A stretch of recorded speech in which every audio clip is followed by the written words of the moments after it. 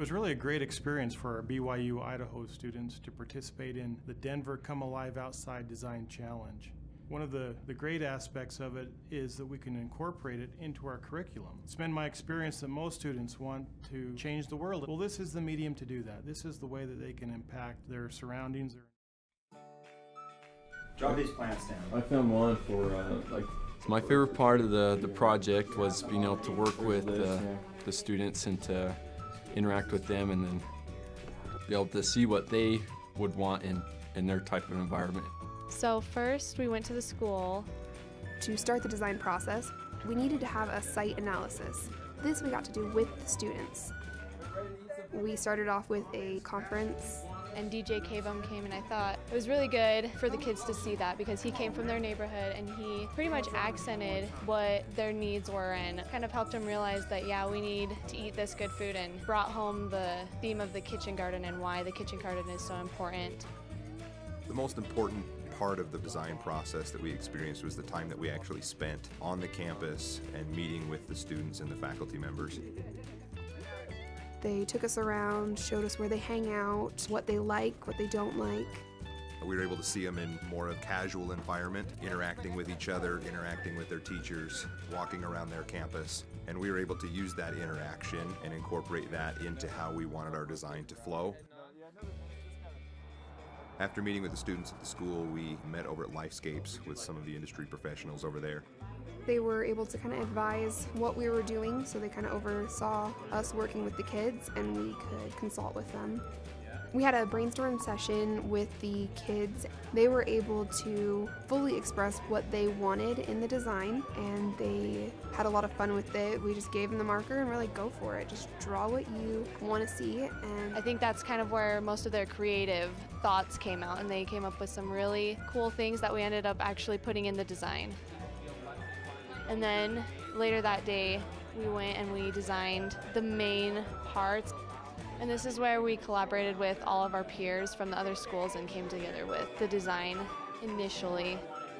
We spent time our last evening there working together to put together a design process, to put together the whole design and then present that to the community. We presented to the community the next day and we had a few community members that showed up and told us what they'd like to see with it. They have high hopes for the students just like we do.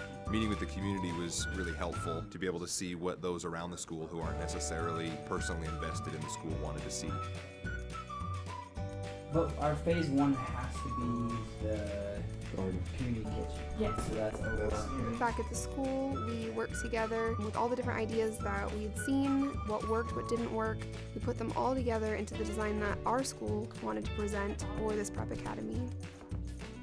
We wanted our design to really be interactive, and so to help kind of show that, we created this 3D model that was going to help everyone to visualize exactly what we were feeling and what we thought as we created this design. And so using this modeling software, we're able to kind of walk through and see all of the different environments that we're working in.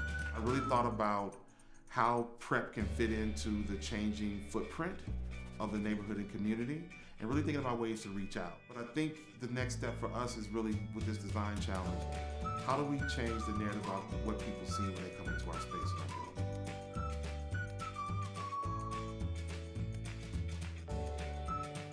With the lazy river idea, we really incorporated that into our design by making a flowing pathway through the landscape that the students can enjoy and relax and kind of take a break from there.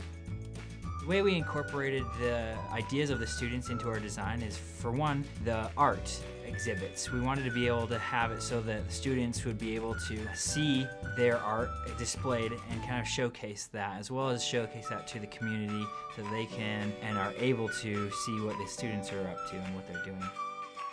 So one of the funnest part of the design that we did was finding ways to create nature in a small space, providing opportunities for the kids to be able to find areas to sit, to walk through nature, to touch the plants, to smell the flowers, was a, a big theme that carried through our whole design.